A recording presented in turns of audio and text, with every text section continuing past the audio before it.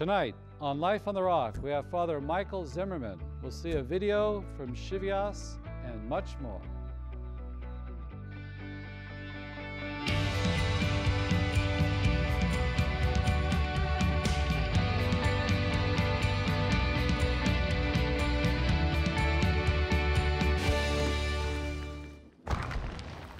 Tonight on Life on the Rock, we have Father Michael Zimmerman, and he's the Assistant Director of Vocations with the Archdiocese of Boston. And he's developed a movie series called Scivias, which is a discernment guide to help men discern the priesthood. And now we're going to watch the intro video to Scivias, Know the Ways of the Lord. When did St. Peter receive his vocation? On the shore of the Sea of Galilee, he heard Jesus' voice speak to him Come and see, come and follow me. But that wasn't when he received his specific vocation, because Jesus called many to be his disciples and to follow him. It's something we're all called to do, to follow Jesus. The church calls this the universal call or vocation to holiness. It's something we all share in. St. Peter's specific vocation, that came later.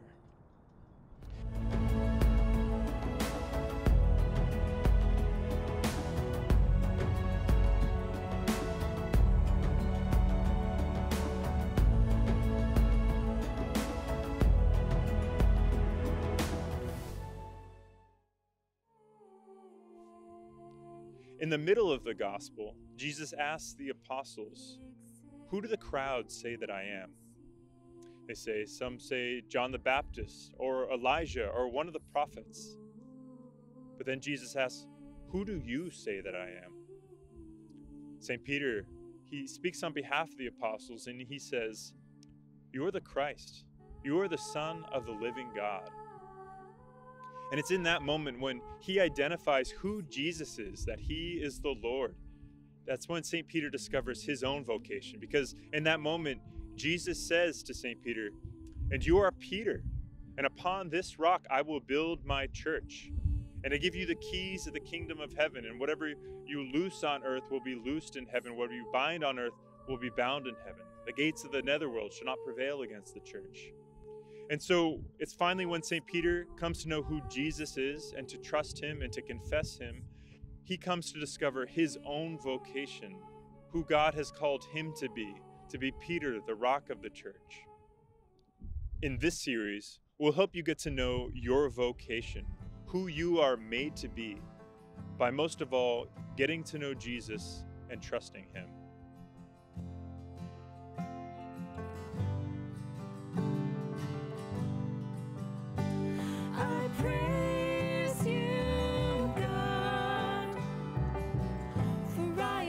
Wonderfully made. Search me, Lord, see me, God, lead me along an ancient path. You have in store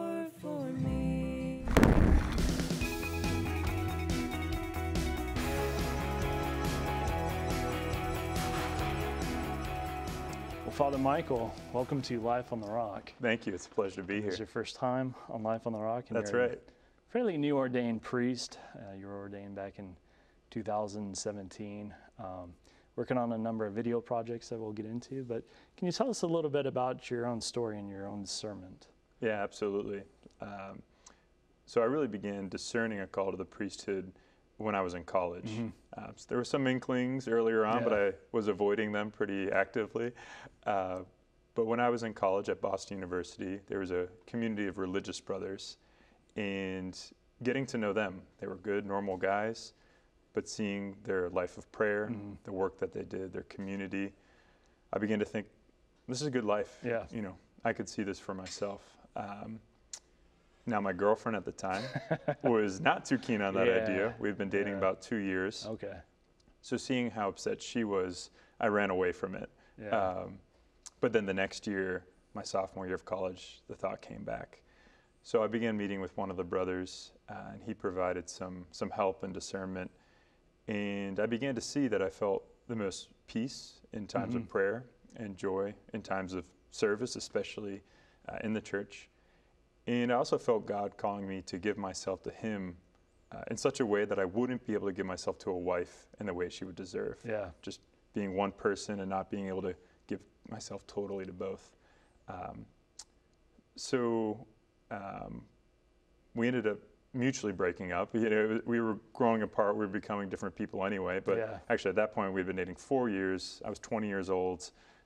Hardest decision of my life was to end that relationship, but received a lot of peace and consolation uh, in that. So in a way, I discerned a call to celibacy first, to give myself totally to God, and then the priesthood. Uh, that came a little bit later. a little bit later. Now, about the community that you encountered in college, what was it? Was there anything in particular that maybe you learned or encountered?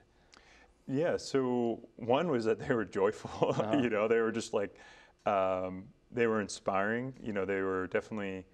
Um, you know, in, in the church, sometimes you don't always see like younger men or a men's community Yeah. like really pursuing pursuing virtue and greatness, and uh, to see. To, to get to know them and to them to like invite me and to be a part of that uh, was just really inspiring for me and like I experienced that joy. I experienced of that community, Yeah. and was like, I want that. Yeah. And I also think, too, um, just in the world today, especially with colleges, you know, there, there's a lot of secularism there. Um, you know, religion isn't on a high priority in a lot of people's mind. Uh, and just to kind of discern, you know, a, a calling to the priesthood in that environment can be kind of a, a challenging thing, but also it kind of reinforces the faith because you have to learn to grow in a lot of new areas. Were there any kind of new areas that you had to learn to grow in? In pursuing a vocation Yeah. the priesthood, yeah. Um, you know, I, I think the biggest area I had to learn to grow in was trusting God. Yeah. Uh, like being able to put my life in His hands and Mm-hmm. say, like, all right, I trust you, God. Where are you going to lead me? Uh, and I would say that's kind of really a fundamental thing when it comes to discernment of one's vocation. Saying, Yeah. you know, I've got my plan, I've got my way, um, but do I trust God with my life? Yeah. one passage from scripture I often reflect on that helps that I- where we see this is um, when Jesus is asking his apostles, uh, "Who do the crowd say that I am?" Uh, and they respond, yeah. you know, Yeah. Elijah, John the Baptist, one of the prophets. And then Jesus asks, "Well, who do you say that I am?" And Peter speaks up on behalf of the group and says, "You are the Christ. You know, you are the Son of the living God." And it's in that moment where Peter comes to know who Jesus is and to confess him as the Christ and the Messiah. That's when he hears Jesus say to him, And you are Peter, and upon this rock I will build my church. Uh, so in that moment where finally Peter confesses Christ, you know, trusts him as, you know, Savior and Lord, that he discovers who he is called to Yeah. I think there is that realis- realization whenever we do kind of realize who Jesus is in our life. It is transforming because you can grow up, you know, hearing a lot of things, but are we really listening with our heart?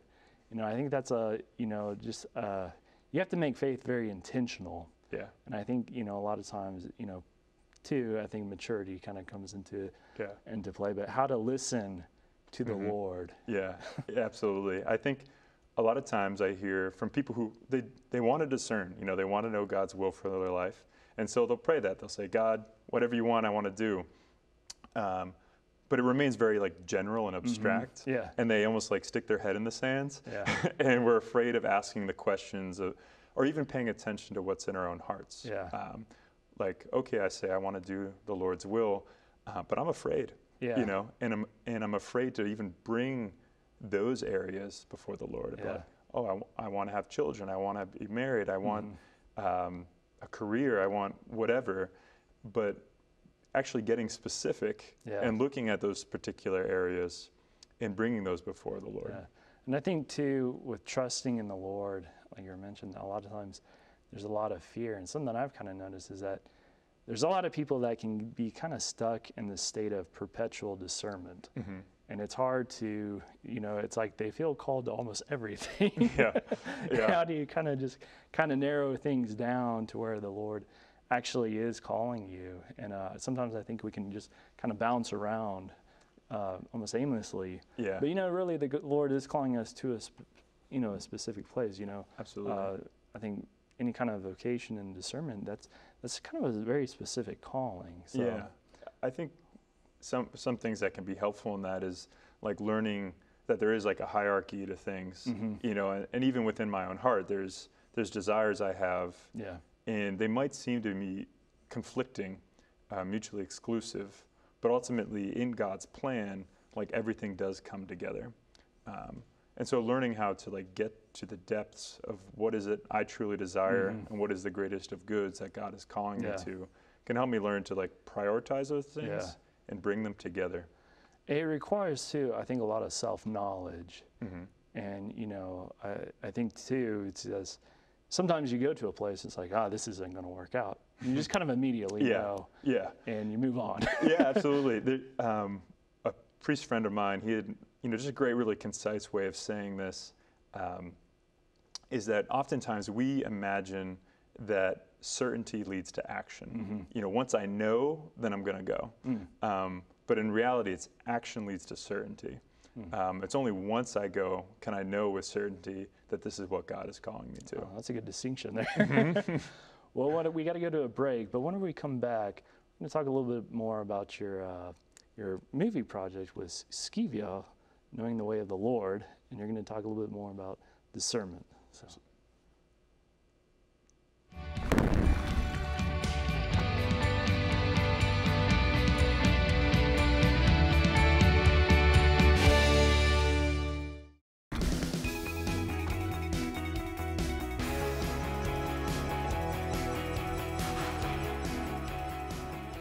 Father Michael, you've been working on a video project for a little bit of time now. It kind of sprung up during COVID, but it's the Latin pronunciation is a little bit unique. Uh, Scevias, Skevias or Shivias, uh, either one works. which means knowing the way of the Lord. Yep. So you talk a lot about discernment, um, but can you actually talk about what started, what got you started working with Scevias? Yeah, absolutely. So this video project really began early on. I've only been in the vocations office almost two years. And from the beginning, I recognized uh, a lot of people don't know how to discern God's will. yeah. And there are resources, there are books out there, there are testimonies and witnesses one can hear, but not so much like an accompaniment, like a guide to walk with somebody through that process of Yeah. discernment and providing them uh, good counsel along the way. Yeah. So I recognized that very early on. And when everything locked down because of the pandemic, I suddenly had the opportunity Yeah. to put pen to paper and wrote the episodes in about two to three weeks. Um, so there's 27 episodes, um, but they're only five minutes in length, so they're very Yeah. accessible um, and manageable. Um, but in that, I, I try to provide helpful guidance and, Mm-hmm. and recommendations on how to go about discernment. And I provide examples from my own life Yeah. uh, to show how this is put into practice and how I experience this. We add up all those videos. That's about two and a half hours. it's a fair amount. Yeah. Content. So It was a lot of work, but um, you know, we've heard from a lot of people already they really appreciate it, whether those are men discerning the priesthood Mm-hmm. or actually even married people say, you know, this is helping me live out my vocation Yeah. and pursuing God's will more fully. There's actually a lot of discernments in the church, Mm-hmm. know, to the priesthood, to the religious life, to the married life, Yep. to living singly. And those can be, you know, while you're, you know, young, you know, you have to discern those things. And uh, so I'm always kind of, you know, what draws, you know, somebody to a certain direction. And, you know, one of my patron saints, St. Therese, is like, she knew at a very young age, 3 you know, just about she had that calling to become a nun. And uh, I don't know that that's normal for Yeah. everybody, but uh, I think, you know, God works, you know, with who we are in calling us to uh, different states in life. But I wanted to know what are some of the maybe the um, principles or steps you see towards discernment? Yeah. I think for discernment, it really begins with a desire. Yeah. um, a desire to know God's will, like what's my place and purpose in life. I think that's really the inspiration for all prayer. And prayer leads us to a relationship with God. And that's how we end up discovering who we are. Um, you may have heard the acronym RIM, R-I-M, which stands for Relationship, Identity, Mission. And so this desire to know leads to a relationship with the Lord. And from that relationship, we discover our identity and what we're called to do. Yeah. We see this in the life of Christ in that even, you know, he is the son of the Father. Um, that's his the relationship. That's who he is, and from that, he's sent from the Father's side. Yeah. So even before he begins his public ministry, uh, we see at his baptism God the Father saying, "You are my beloved Son; with you I am well pleased." So coming to know who we are in relationship to God leads us to discover what we're made for. Yeah, and I think he, uh, too. There's a uh, something to point out. Just we do have to have a, a relationship with the Lord, mm-hmm. you know. And actually, I mean, the Lord can call us in many ways. It's all throughout the gospel. You know, the way the, you know, Jesus called like Saint Matthew. Mm-hmm. You know, it's um, who knows where really God was in his life before mm-hmm. that. Yeah. But you know, he recognized the voice of the Lord, and you know, we respond in a, you know, faith is a response to that voice. You know, Yeah. that is calling us into a very intimate relationship. And so I always think Eucharistic adoration hmm. is very important. You know, and a lot of it is, you know, we kind of grow up Catholic, but we don't know much of that practice. And I always think hmm. that's to get into the practice of going before the Lord in Eucharistic adoration is very important. Yeah, I would 100% agree with Yeah. that. I would say all of my breakthroughs in discovering my vocation came during times of Eucharistic Yeah, adoration. yeah. So I can't can't recommend that enough. Yeah. Absolutely. And I also have to say the other one is the sacrament of penance, of Mm-hmm. going to confession. And uh, because, you know, you look at where you are in your relationship with God, you know, and these are the laws of God, you know, the Ten Commandments. Mm-hmm. You just kind of see where you're at, you know, and it's not, you know, God doesn't shame us, you know, but Yeah. He invites us, you know, to enter into, I think, just a deeper communion with Yeah. Himself. And if I can piggyback on that, another one I would say is a Good Marian devotion. Yes. You know, she's awesome, our Blessed Mother. Um, you know, she teaches us to say yes to God's will, Yeah. as she said so perfectly, let it be done unto me according to thy word. And also, I think, especially for men, a lot of times we have difficulty understanding like what's going on within our own heart. Mm-hmm. And uh, relationship with our mother and talking with her can help us become more aware of that, who was always pondering what was in her heart and seeing how that um, relates to her relationship with her son. And you've been a priest now about four years, Mm-hmm. and you've been working in the ministry. And um, now you also do some teaching. Yep. Uh, you teach scripture. Scripture, yeah. Uh, that's kind of one of your specialties. And uh, but I also kind of wondered what's what's it been like for you to be a priest? Yeah, no, being a priest has been amazing by uh, by God's grace. One of the things, right after I was ordained, within the first month of being ordained, uh, I pretty much felt like I did everything that a priest does in one month. Yeah. You know, in terms of all the sacraments. Um, one time, uh, there was a man dying in the hospital, Hmm. desired to be baptized. You know, and, and brought him baptism. Confirmation, Eucharist, you know, anointing of the sick. It was like a sacramental Wow. gram slam right off the Yeah, bat. And everyone in this room was struck by this. Yeah. You know, his nurse desired, desired to get confirmed after that. Wow. His girlfriend wanted to be baptized after that. His roommate had fallen away from the church for 30 years and now wanted to go to confession. Um, so when the sacraments are present, you know, God's grace just opens up from heaven, just hits everyone nearby. Yeah. And so moments like that, or moments like hearing a confession from someone who hasn't been in 50 years, 60 years, and I'm like, I haven't even alive that long. Right. Yeah. But in God's providence, He's brought us here together. And so I would say, just recognizing um, there's so many moments as a priest where it's like, if I was ordained just for this one moment, it would all be worth it. Yeah. And those moments happen all the Yeah. time. And I think too the importance about the priests is that they bring, they bring Christ into our life, Mm-hmm. you know, through the sacraments, and I think through their witness, you know, and a lot of them do make a lot of sacrifices behind the scenes that a lot of times we don't see. And um, but I wanted to also ask you, where can we learn more about discernments and your uh, movie projects? Yeah, so uh, I'm in the vocations office for the Archdiocese of Boston.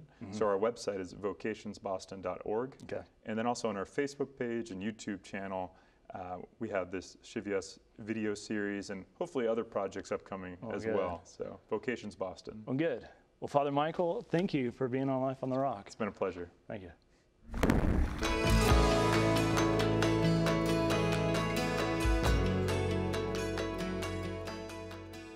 Well, Father John Paul, Father Michael, he had a lot of good things to say about discernment. But a theme I think that really stuck out was trusting in the Lord. And that's something that we have to cultivate really in the church is learning how to just trust in the Lord and listen to his inspirations. On the introductory video and also uh, in his interview, he was quoting from the Lord's dialogue with uh, Peter, Mm-hmm. with Simon Peter, and you know he had, Jesus asked his disciples, "Who do men say that I am?" Yeah. And some say some, some say John the Baptist, some say Elijah, some say one of the ancient prophets. Yeah. But Jesus' question to him was, "Who do you say that I am?" Yeah. And you know that was really specific in my own life too, Mm-hmm. um, in my own prayer life and vocational call is recognizing who Jesus Yeah. is. And Yeah. you know, Father talked about you know in the introductory video, it talked a lot about the inter- the universal call to holiness. You know, that's the first and f- primary call. Once we figure that out, once Mm-hmm. We figure out that we're called to holiness first, then our particular vocation will become a little bit more clear. And I think too, knowing who Jesus is in our life and in the life of the church is so important. You know, I think a lot of men and women as they, you know, go into college, there's a lot of distortions out there about who Jesus is. Some believe he's just a man or didn't exist or some kind of pagan thing. But no, Jesus is God. He is God in the flesh. He's God the Son, God and the eternal the church Word. makes that very clear Yep. to us in our belief and in our faith.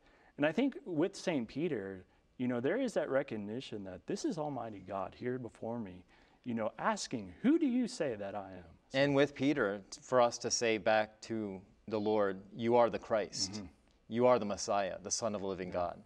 So again, we have to be holy. So we have to listen to the Lord, learn how to open our hearts, you know, spend time in Eucharistic prayer and Eucharistic Sure. adoration, and going to the sacrament of penance, you know, which is often neglected today. And you know, and you're a, a missionary of mercy, and you you know you're always proclaiming that, and that's a good thing. So because we need people to go back to the sacrament of penance. Well, definitely, and, and having a solid prayer life. Mm-hmm. And I, I've found that in going to the sacrament of confession, opening your heart up to what the Lord wants Yeah. to receive, give you in the, in the sacrament, Yeah. and you receive, that changes everything. It's a game changer. And I think whenever we restore that relationship, we're able to really listen to God with more clarity. So. we're able to hear Him exactly Mm-hmm. with less obstacles. Right. So, Father John Paul, can you give us a blessing? I'll give a blessing with the relic of St. Maximilian Kolbe that we've been entrusted with through the intercession of St. Maximilian Kolbe, this great priest. May the Lord help all those of you who are discerning your vocation uh, to follow it in the way, in the footsteps of this great saint, the Father and the Son and the Holy Spirit. Amen. We'll see you next time on Life on the Rock. God bless you.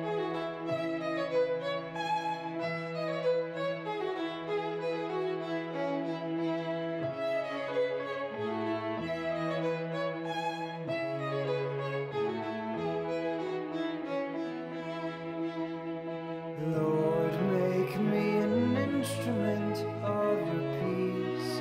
Where there's hatred,